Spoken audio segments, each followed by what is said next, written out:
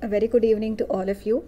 I welcome you all to the I-CAN initiative, the Hindu and Indian Express analysis. So, we will start today with the prelims theme of the day. Today's theme, theme we'll be taking is on environment, which is the natural heritage sites of India. So, the first thing you have to do is to make a list of the natural heritage sites of India. And more importantly, you have to know why a particular site has been classified as a natural heritage site.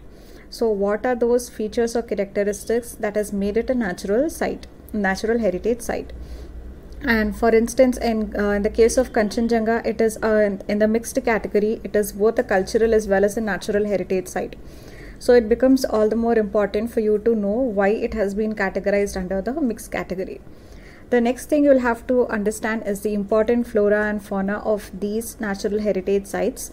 So focusing particularly if there is any endemic flora and fauna or if there is any endangered, vulnerable or critically endangered flora and fauna. So then you'll also have to uh, list out the physical features which are the important ones present in these uh, natural heritage sites. So many times you see UPSC asking questions like uh, there is a particular national park or a wildlife sanctuary. So what rivers go through it or it's uh, amidst which mountains. So all of these things become very important for you to understand the location. So you will also have to list out the important physical features which are associated with these natural heritage sites. So this is regarding the prelims theme of the day. So last uh, Friday I had given uh, the theme that I had given was on uh, listing out the martial arts and also the GI tags, particularly the uh, recently ones which have been issued in the last one year. So and uh, some I had told last Friday that uh, I'll get back to you on posting it in the comment section. As some of you had told that you write on the papers, so so you want to have a platform where you can post it uh, what you write rather than just typing it out in the comment section. So for that you can make use of the I-CAN uh, which is also updated on the Insights on India website. So below that link on the discuss platform itself you can use that to post your uh, answers for the prelims theme of the day. So with this we will start with the topics of the day. We have a lot many things to cover today so we'll go a little uh, faster. So the first thing is the Afghan peace process.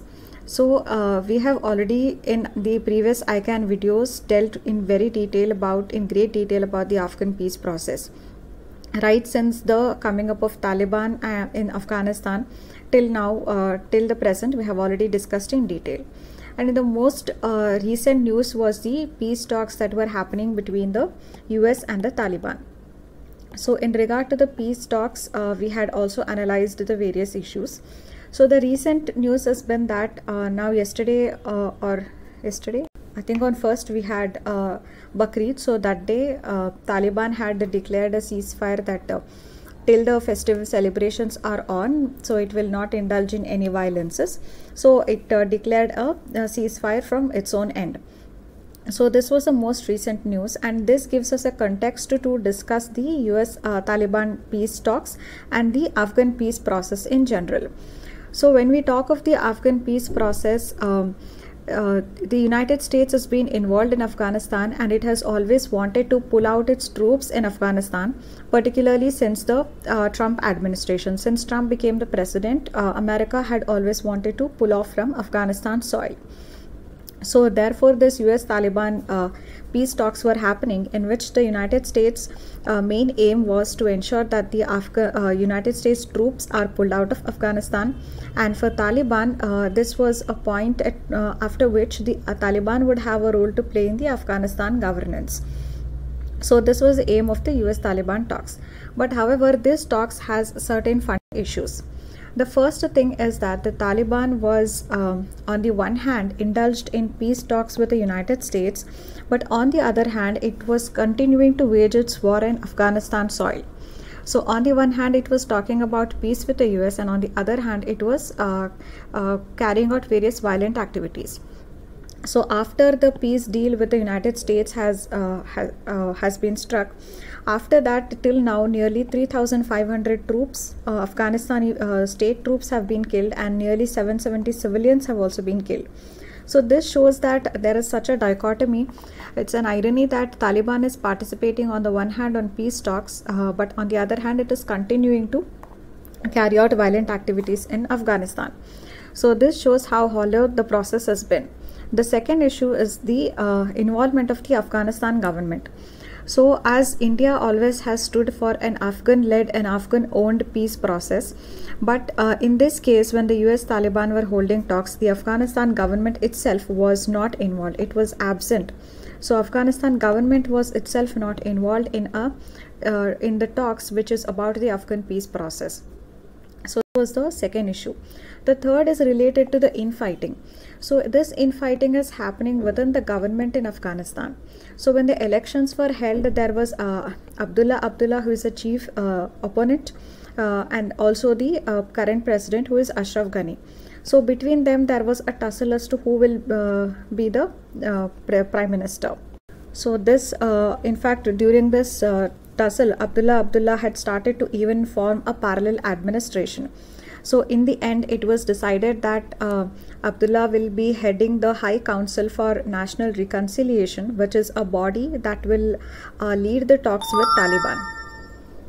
So, this infighting within the government shows that the governance itself, uh, the stability of the government is always in question, and the governance is itself being weak. So it is this weakness in the government and this volatility in who actually forms the government. Uh, this actually is giving the space for the Taliban to resurge again and uh, emerge more strong in uh, Talib uh, in Afghanistan. So if the government is strong and if it is able to handle such forces as Taliban, then the chances of resurgence are also less. So, but uh, infighting shows how the uh, there is an inherent weakness in the government itself and in the stability of the polity in Afghanistan. So that itself is a matter of concern. So this was a major issue related to the Afghan peace process. Now we on to the next topic which is related to metropolitan governance. So this can be part of your GS2 syllabus which talks about the local self-governance which is the Panchayati Raj institutions and also the urban local bodies. So the metropolitan governance comes under the urban local bodies.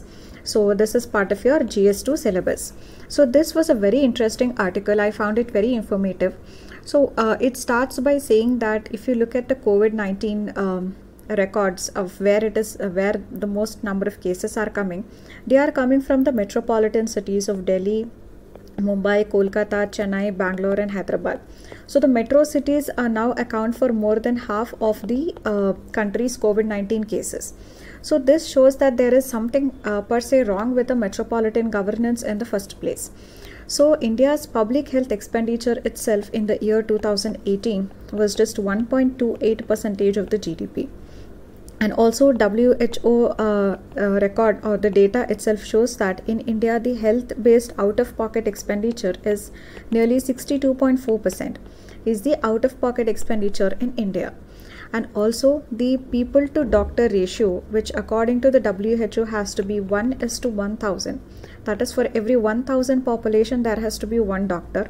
But uh, what happens in india is the ratio is 1 is to nearly 1500 so that is uh, one doctor for every 1500 population. So all of these are some of the major issues which is uh, which is very uh, prevalent in the metropolitan uh, cities so now what we'll have a look at in this article is the various issues associated with the metropolitan governance so before that, uh, the 74th Constitutional Amendment Act has uh, given constitutional status to the urban local bodies, which also involves the uh, metropolitan uh, planning committees. So under this, for the metropolitan areas, a metropolitan planning committees or MPCs are going to be set up for all the metropolitan areas, which means those cities which have more than 1 million population. So the functioning of this or the uh, core function of this Metropolitan Planning Committee is to form a draft development plan comprising the entire metropolitan area. So uh, this is the basic of the metropolitan planning committees and how the governance is functioning in the metropolitan areas. Now we'll have a discussion on the various issues that are faced in this metropolitan governance. First is there is lack of robust social, uh, spatial planning. So this spatial planning is supposed to be done by the Metropolitan Planning Committees which have been given constitutional status under the 74th Constitutional Amendment Act. But however, according to a Janaagraha survey of 2017, it was found that only in 9 out of the 18 cities or the 9 out of the 18 metropolitan cities the MPCs had been conducted sorry uh, constituted in rest of the cities uh, it was defunct or it was not constituted at all. And also even in these 9 out of the 18 metropolitan cities where MPCs were set up they were also mostly on paper. It doesn't mean that they were functioning very efficiently. So this again shows uh, if you look at the current uh, situation and the way the metropolitan cities are handling the covid-19 crisis it is very visible how these cities are lacking in housing how these cities are lacking in sanitation and also in social security to the migrant workers so this shows how MPC has been lacking and wherever it has been set up it is mostly on paper and has been ineffective. So the next issue is the weak municipal capacity. When you talk of municipal capacity, it can either be the financial capacity or it can be the staffing capacity. When we talk of finance, even the previous economic surveys have repeatedly pointed out that the internal revenue generation of these local self governance bodies is very low. So, in such a situation, if we look at the uh, own revenue generation capacity of these uh, metropolitan bodies, we see that, for instance, in the case of Bangalore, so Bangalore generates uh, only 48% of its total expenditure is coming from its own internal revenue. Rest is borrowed and in the case of Chennai, just 30% of its total expenditure is coming from its own revenue. And in the case of Mumbai, just 36% of its total expenditure is coming from its own revenue. So, this clearly states how the internal revenue generation of these urban local bodies has been found lacking and they don't generate enough revenue to be able to provide those services to the urban citizens. So, therefore, they are lacking in the financial capacity. Next, we come to the staffing capacity. So, metropolitan cities means cities that are having more than 1 million population. Accordingly, the amount of support staff that is needed to run such huge spaces or such engines of development are also huge. But however, the amount of staffing that we have in these big metropolitan cities is very less.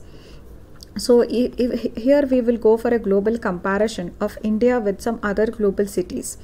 In India, Mumbai has the highest population of the staff uh, as a ratio to the total population. So in Mumbai, uh, the number of officers per lakh of the population is found to be nearly 940. So there, there are nearly 940 officers per 1 lakh of population in the case of Mumbai. But if you compare that with other cities like Johannesburg, so in this case, the number of officers is nearly 3000 officers per 1 lakh population. And if you compare that with New York, it is nearly 5500 officers per 1 lakh population. So compare this with India, which is just a 940 officers per 1 lakh population. It shows how much uh, staffing uh, is very poor in the urban metropolitan cities. So, because of this understaffing, several of the urban services cannot be uh, delivered efficiently to the citizens. So, the second uh, municipal capacity which needs to be strengthened is related to the staffing capacity. Now, we'll move on to the next weakness or the next issue in the municipal governance. So, uh, that is a weak authority. So, the head of a municipal area is the mayor. But in most of the cities, mayor is not directly elected so because the mayor is not directly elected uh, he has he or she has little control uh, over the council also. So sometimes the mayor is from a different party and the council majority uh, the municipal council majority is from a different party. So in this case it is very difficult to fix accountability on the part of the mayor on the one hand mayor has a, a, lot of responsibility that on that is upon his or her head that he has to look after the overall uh, development in the metropolitan area. But however the power that has been vested with the governor is not in commensuration is not commensurate to the responsibility that he will have to uh, handle. So the power entrusted to him is always less than the responsibility uh, that is on his shoulders so uh, this is one more reason for this is the presence of a lot of parastatals. So these parastatal agencies, there are separate uh, special agencies which have been set up by the state governments to look into various issues of the city governance. For example there is a separate body for water there is a separate body for sanitation there is a separate body for metro rail there is another separate body for sewage and waste management. So like that there are separate bodies which are constituted by the state government which are called as para- parastatals. So these parastatal agencies again dilute the uh, power of the mayor and also it is difficult to hold one person accountable for the entire functioning of the metropolitan area so uh, there, there may be one more body let's say for uh, housing. So if there is any uh, issues related to sanitation or water quality in the city then it is not possible to fix the accountability on the mayor because this is looked after by an entirely different body. Also if you look at the tenure of these mayor who are not directly elected they have a very short tenure which is very less to do and initiate and complete any meaningful work by the mayor for instance, the Mumbai's mayor has a tenure of uh, nearly 2.5 years. In the case of Bangalore and Delhi, the average tenure is not more than one year. So this is a very short tenure to be uh, to give that stability to the mayor to carry out some meaningful work in the city. So therefore, there are several issues related to housing, water, environment, because one individual or one person, one political authority is not responsible for everything and because there are these multiple uh, agencies or parastatals which are responsible for various independent functions like water sanitation sewerage uh, housing etc the interagency coordination also will increase that much by that much proportion and it will be that much more uh, difficult to achieve this interagency coordination and even if that is achieved it will also lead to a lot of delay in the decision making because of the time that goes off in achieving this coordination. And also for a common citizen he or she doesn't know whom to approach if there is some issue related to some of the urban services. Because mayor is not the person who is doing everything. So therefore there is no single person or a single authority to whom these people can approach to hold him or her accountable so this is uh, the issue related to the weak authority. The next issue is the citizens participation. So though the urban local bodies were supposed to be uh, units of uh, the decentralized uh, uh, participation of the people at the uh, urban level but this level of citizen participation has remained low. So uh, the ward sabhas are uh, constituted in the cities which are supposed to have the uh, participation of the citizens. But however, uh, these ward sabhas are not functioning in many of the metropolitan cities. The second ARC had recommended that below the ward sabha there has to be what are called as area sabhas.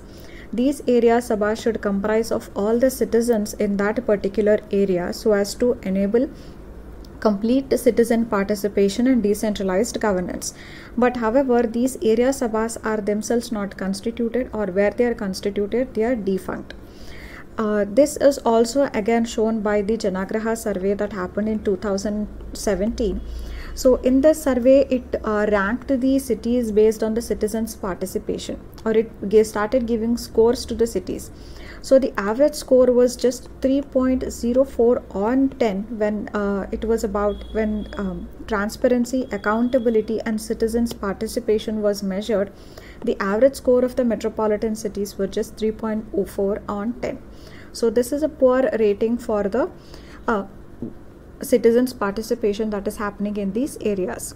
So this is related to the issue of low citizens participation. Therefore what should be the way forward? Uh, we must definitely go for more decentralization, set up more area sabhas which involves genuine participation of the people.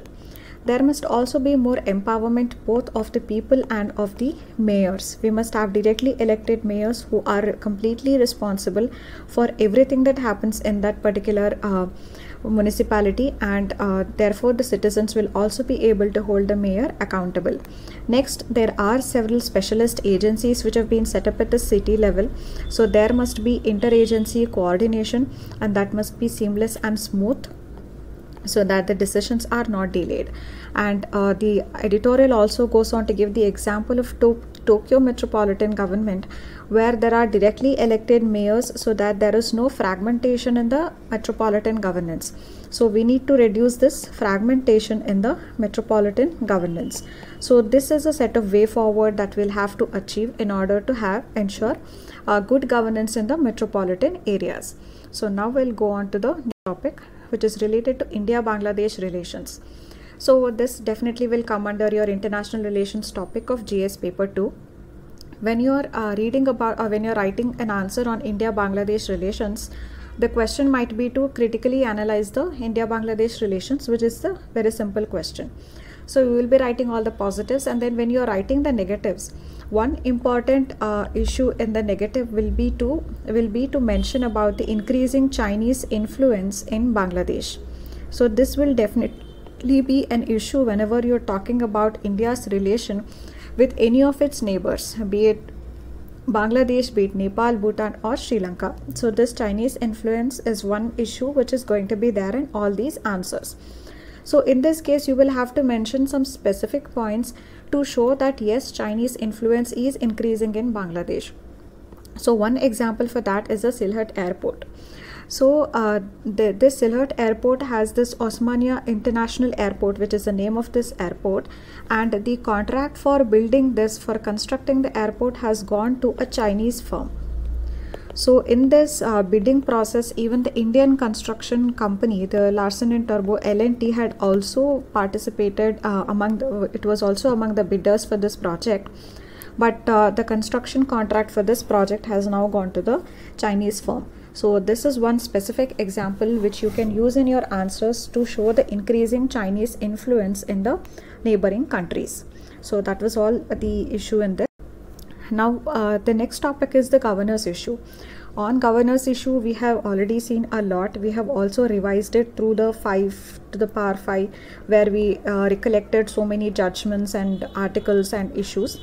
So, in this, what we are going to look at is uh, just two things two important judgments and also one important committee so on the one hand we have article 174 this article 174 says that the governor should summon the assembly. So this we are discussing because the uh, governor of rajasthan had uh, some reservations in summoning the assembly when the chief minister ashok gehlot had asked the governor to summon the assembly so that he can give a proof of his uh, confidence or a, uh, the trust vote can be done in the legislative assembly so as far as that issue is concerned, Article 174 of the Constitution, it uh, gives the power to the governor to summon the assembly. But in this case, he has to act on the aid and advice of the Council of Ministers. So this is particularly true when um, the, the government or the chief minister enjoys majority in the legislative assembly, then the governor will have to abide by the aid and advice that is given by the council of ministers headed by the chief minister. In that case, he cannot exercise a power of discretion which is specified under Article 163. Article 163 says that the governor will carry out uh, various functions on the aid and advice of the uh, Council of Ministers headed by Chief Minister, except those functions in which he has to exercise uh, discretionary powers. But however, summoning of the Legislative Assembly does not come under his discretionary power, particularly when the Chief Minister already enjoys a majority in the Legislative Assembly, then the Governor is bound by the aid and advice of the Council of Ministers and he or she has to summon the Assembly when the Council of Ministers advises for the same. So this whole thing was reiterated in the Nabam Rebia judgment. So Nabam Rebia judgment held that the governor has no discretion when it comes to summoning the assembly, particularly when the government enjoys a majority in the house. Then the governor has to be is bound by the aid and advice of the council of ministers, and he has to summon the assembly. The next is the Shamsher Singh versus State of Punjab. This is actually an old case uh, of 1974, but uh, this uh, in this uh, case, Supreme Court had made a very important statement which can be used in the answers. So, in this particular case, the Supreme Court has observed that the governor has no right to refuse the advice of the Council of Ministers. So, uh, if uh, such a position, if the governor actually refuses, if the governor ends up refusing the advice of the Council of Ministers, then uh, that that will become antithetical to the concept of the responsible government so the function or sorry the duty of the chief minister and the governor should be to just resolve the differences uh, so that there is no crisis that is occurring and uh, the integrity of the institutions is preserved. So this was an important observation that the supreme court has made in the shamsher singh versus state of punjab case of 1974 where the court said that the governor has to uh, can does not have the right to refuse the advice of the council of ministers because such a position will go against the concept of the responsible government. So whatever be the issue the governor and the chief minister should resolve the crisis so that the integrity of the institutions is preserved. So this was the observation of the supreme court in shamsher singh case which can be quoted in your answers. The next important uh, uh, observation related to is the uh, role of the committee so the Dinesh Goswami committee was set up in 1990 and it had given few recommendations. So some of the recommendations on the anti-defection law uh, which can be taken uh, if a question is asked on anti-defection law and do you think that uh, some modifications are needed and that anti-defection law is actually not uh, preventing the defections from happening so what kind of modification is required in the anti-defection law so in such questions, you can take the help of the Dinesh Goswami committee that was set up in 1990. So what this committee said was uh, the first thing is when you talk of defection. So defection happens when a particular politician doesn't uh, uh, abide by the instruction that has been given by the whip so he or she ends up voting or not voting which is against the instructions of the whip so that will also be considered as defection so what Dinesh Goswami committee said was this um, disqualification on defection should be limited to just the most important motions like the confidence motion. If a person if the party feels that in the confidence motion uh, voting has to be done in favor but if the politician ends up voting against in such cases where the uh, presence of the government itself is under question only in such critical cases the disqualification should be um, attracted in other cases, uh, just for not abiding by the instruction of the whip, disqualification should not be there.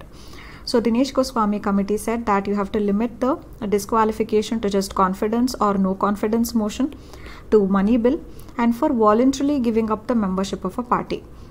In other cases, it should not attract the provision of disqualification under the 10th schedule of the constitution that is under the anti-defection law.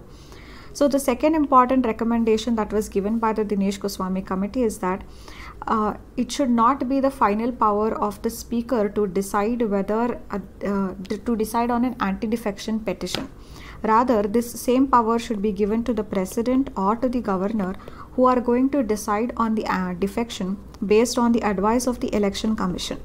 So this was another important. This will also uh, lead to depoliticizing the office of the speaker because now we see that many of the speakers have either sought on they have either uh, they keep sitting on these uh, defection petitions which have been filed by the opposition parties just to, to favor their own party. So as there is no timeline within which the speaker has to decide on an anti-defection petition they just don't end up deciding on those petitions so in order to prevent all these in order to prevent the biased role that the speaker sometimes ends up playing the power for defection should be given to the president or the governor who is going to exercise such a power after uh, the consultation of the election commission. So this is at the second most important recommendation that was given by the Dinesh Goswami committee so which can be used in your answers. Now we'll move on to the next topic which is related to the new education policy so there were uh, five articles overall five editorials on uh, the new education policy and its analysis. So this is part of your gs2 syllabus which talks about the issues related to education. So in this uh, first we will look at the importance. We will cover this uh, quickly. So first thing is that this is going to cover the entire gamut of uh, the education right from the preschool to the doctoral. It is going to cover everything in between so that is one uh, secondly it is also uh, covering everything from professional to vocational everything is being covered so this is the second important uh, aspect of the new education policy third is that this policy recognizes the need for a flexibility so we are in the 21st century and there is definitely a need for more flexibility and mobility between the disciplines. So, this need for flexibility is also recognized by this new education policy 2020. Next is it recognizes the importance of the childhood education. So, till now, in the formative years of 3 to 5 or 3 to 8, that was not recognized. The importance of education in these formative years was not recognized. But, however, this particular policy recognizes the importance of childhood education and it says that early childhood education till 6 years is also going to be made mandatory so this one is very important because this early childhood education was put as a part of the fundamental duty whereas right to education was only made uh, a part of the fundamental right. So what this uh, policy also states is even the early childhood care that is below 6 years of age also that has to be uh, that is mandatory that has to be mandated. So therefore it recognizes the importance of the early childhood intervention in education uh, in those formative years and how different role it can play uh, in the lives of the children. Next is uh, it aims to have a multilingual education system in India because it says that till class uh, 5 or till 8 there is going to be uh, education in the uh, instruction should be given in the mother tongue so therefore it promotes education in the medium of mother tongue apart from english so therefore this multilingual education could in the future be an USP of the Indian education system. So this again is the importance of the NEP 2020. Next is it tries to break the straitjackets. So now you have the way we have uh, our courses in the school days is uh, there is a very straitjacketed approach. So you either take science or commerce or arts. So what this NEP 2020 also aims to achieve is to uh, have an uh, to break these straight jackets and also have some flexibility and fluidity between these streams. Next is it aims to enhance the gross uh, enrollment ratio in both the schooling as well as in the higher education. In the schooling, it aims to achieve a 100% gross enrollment ratio by 2030 and for higher education, it aims to have a 50% gross enrollment ratio by 2035. So this is most important thing. Next is it plans to uh, give autonomy to the colleges. So, uh, till now, the issue has been uh, with respect to the regulatory cholesterol in India, where a lot of regulations were imposed on the colleges. But this policy recognizes that these colleges will have to function as autonomous institutions, and therefore, it plans to uh, phase out the system of affiliating uh, of the colleges within a period of 15 years. This system is going to be phased out then it also gives a lot of importance to technology. Because technology can be a very important tool to enhance the pedagogy and how learning happens to the students. So in the era of uh, in the digital era so this policy aims to use several digital tools and digital intervention also to enhance the level of learning and the learning outcomes among the students. Uh, next is the regulatory cholesterol because now various schools and colleges they are faced with these periodic inspections that keep happening. So there are a lot of compliance reports that these schools have to uh, send and there are a lot of inspections that keep happening. So from this we are moving to a path of self assessment where these schools and colleges are going to be assessing themselves and they are also going towards uh, voluntary declaration rather than the inspectors making a report on it they are going to go for voluntary declarations and also self assessments so this way this regulatory cholesterol is also going to reduce.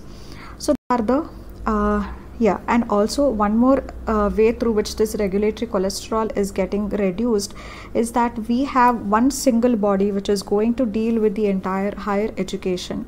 And this single body will be having four verticals one is uh, one will look after the standard uh, the standard setting in the higher education. Second will look after the funding of the higher educational institutes. Third will look after the accreditation processes. And the fourth will be dealing with the regulation of these higher educational institutions. So all these four will be the different verticals of the same body. So the principle that is now going to be followed is light but tight so the regulation uh, regulations that is imposed on these institutions are going to be light but at the same time they are going to be tight. So this is the policy that is being followed now. So apart from this as far as funding is concerned this NEP 2020 says that 6 percentage of the GDP is going to be spent on education which again is a very important thing given the amount of uh, resources that had been allocated to education till now that was very meager next uh, it also represents uh, the importance of this nep 2020 is also because uh, it was long due. So the first policy came in the 1980s which was then modified in 1992 and then we uh, came the liberalization privatization globalization era. So after that came the digital era so in which uh, the use of digital technology for educational purposes started to increase. Then two committees have at least come in the past few years itself one is the TSR Subramanian committee and the recent in the 2018 committee based on which this policy is made is the Kasturirangan committee. So we are in a knowledge economy where uh, the change in the NEP policy, NEP was um, national, uh, the change in the way education is perceived was definitely required. So therefore we can say that NEP 2020 was also long overdue and it has come at the right moment so these were the various things when uh, we say that uh, the nep policy and uh, what is its significance you can write all these points. So now we will have a look at the various issues related to uh, nep one is the issue of the regulations. So uh, what the nep policy says is that um, all these years the regulation has not been much on the private sector which was charging very heavy fee so, in order to make education more affordable, the NEP also aims to regulate the fee aspect in both the public as well as the private institutions. So, this issue is that if there is a regulation on the private fees as well, then that is good that it is going to make education more affordable for uh, people. But however, even in the past, these fee regulations did exist in the state level. So, several state governments had uh, these rules regarding regulating the fee in the private sector institutions also.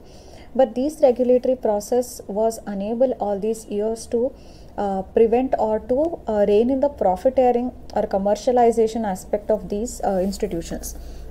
So even unaccounted donations were made to the institutions in spite of the fee regulations that were imposed by the states. So therefore whether imposing these regulations on the fee uh, charged in the public and the private sector is that really going to rein in profiteering? Is that really going to control and restrain the profiteering that happens? So that is one uh, doubt that is being raised. Second is the impact on the federal relations. So the NEP talks about having one national higher education regulatory council which is going to be the apex level uh, body uh, so whether this apex level body that is going to control or regulate the education in the entire country is that going to be accepted wholeheartedly by the states is another question because this is going to impinge on the federal relations as well. So this is the, the third issue is the uh, with respect to the vocational education. So what the NEP aims is apart from the academic inputs that are being given vocational education is also important and that also needs to be given but however, when we say vocational education, uh, many of the parents and the students are not very much inclined towards vocational education. They see it as an inferior uh, thing compared to the normal academic inputs that are given.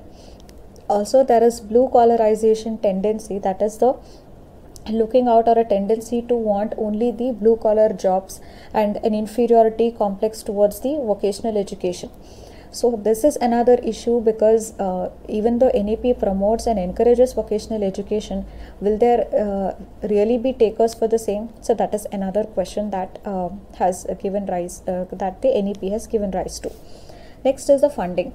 Even though NEP enthusiastically says that six percentage of the GDP needs to be kept on education, uh, because it is a very important sector. But however you uh, if you look at the current context of the covid-19 and the amount of expenditure that the state has been doing so there are several competing demands you can say. So in amidst these demands will it really be possible to consistently give that 6 percentage of gdp towards education is another uh, matter of concern. The next issue is the civilizational history so that is uh, the NEP policy. The NEP talks about uh, the studying of our civilizational history as well. So this part should not be neglected, is what the NEP tells. So one thing is, uh, if we have an honest study of our civilizational history, then that will imbibe confidence in us. but however if this uh, is not done in the right perspective then it can also instill some false pride in us and which is which has also happened in the past. So whether studying of this civilizational history which this nep emphasizes on is that going to bring confidence in us or is it just going to instill some false pride in us regarding our own uh, civilizational achievements? So this is another uh, question that has been raised. Next is related to the flexibility so the NEP says that there is going to be a lot of flexibility in the higher education especially where there will be several entry and exit options for the students. So uh, they can either the higher uh, courses the higher education courses the that is the undergraduate courses is going to be till um, four years. So it can be after one exit can be after one year or two year or three or four years so therefore there are going to be multiple exit options also which will impart more flexibility in the higher education is what the NEP says. So accordingly, based on the year of exit, you can either get a certificate or a diploma or a degree. So even though this is uh, this uh, has good meaning, but however, uh, how will you set a curriculum in a particular uh, higher education institute or in a particular college how will you set the curriculum if some of them are going to leave after one year to get a certificate and some of the others are going to leave after two three years to get a diploma and only some are going to stay for entire four years to get a degree. So this is the same classroom in which all these kinds of students are there. So how are you going to set the curriculum for each one of them? So some of them are going to get uh, out of the college after one year. Some of them are going to get out after two years. So how are you going to set the curriculum for those colleges? So uh, giving flexibility is good but however how will the curriculum be set in such case is another matter of concern. Next is the multidisciplinarity. So the NEP stresses time and again and uses this word multidisciplinarity several times but however, uh, some of the critics have pointed out that many of these colleges uh, they must have their own identities. They have their own comparative advantages. That is, some of the colleges are known for their engineering degrees. Some of them are known for their architectural courses. Some of them are known for their uh, humanities uh, courses. So, in such case, if every college or every university is to have this multidisciplinarity, then they are going to lose their own identity. They are going to lose their own specialization. So each of these universities or colleges is is going to have their own philosophy and their own mission. So by introducing this multidisciplinarity in every college, then their own unique philosophy and mission is going to get lost. So this is another matter of concern. The eighth issue is related to the socially and the economically backward sections. So, this policy does not mention anything about the socially and economically uh, disadvantaged groups, except, of course, there is going to be an inclusion fund which will give some financial assistance for the meritorious students of the backward classes. But it does not talk about the reservation. Also, because uh, this policy says that the private sector has an equally important role to play in education so more private sector uh, is also going to be encouraged and promoted. So this policy is silent on the reservation whether of the students or in the employment of teachers. So in every case it is silent on the aspect of reservation. Next is the tribal education. Even in the case of tribal education uh, this policy does not mention anything related to the tribal education just a passing reference has been given to the uh, educational institutions in the tribal areas, which are called as the ashram shalas. So, just uh, a passing reference has been given to these tribal schools. The next issue is the privatization versus commercialization. So there is a uh, the policy NEP 2020 promotes the uh, uh, the partnership with the private sector for increasing the spread of education but there is a difference between benign privatization and uh, that getting translated into uh, the commercialization. So when there is growing privatization and if there is um, lesser and less of the public institutions of higher education which are prevalent but more and more of the private sector then uh, how is it how are we going to prevent this benign privatization from being converted into commercialization? This is also another cause of concern the next is the uh, there are several new emerging fields The NEP 2020 goes on to make a list of several important uh, courses which needs to be offered and which has to be offered in the colleges. But in among those fields uh, which are already good in number, it leaves out some of the very important, um, newly emerging but very important fields. For example, the fields of gender studies. So this is ignored. This doesn't feature in that list of courses which needs to be incorporated. Then gender studies is there. Then you have uh, the cultural studies. Then we have the developmental studies. Then we have the environmental studies. All of these are the newly emerging fields and uh, these fields do not find a mention in the nep 2020 which actually goes on to mention a number of disciplines where the courses will have to be conducted so the next issue next is related to testing so testing is who is going to conduct the examinations for the children, for the students. So there is going to be a national testing agency and this is going to be an autonomous organization which is going to conduct the entrance exam for all the examinations in the higher educational institution. So this is going to reduce the burden on students, it is going to reduce the burden on universities and colleges as well but however this again if you look at the functioning of this that this is going to conduct all the entrance examinations of all the colleges and the universities. So this is also a centralized agency. But however uh, the testing uh, the way students have to be tested can depend upon the context. It can depend upon the uh, how what kind of evaluation is possible. It can depend upon the different uh, fields of learning so different fields of learning and in different contexts may need different kinds of testing and different kinds of evaluation. But by creating a centralized agency we are preventing ourselves from exploring these options of context based and field based testing and evaluation. So this is uh, the last issue. So we have discussed nearly 12 issues related to the new education policy 2020 so now we come to the next uh, topic which is privatization of PSBs.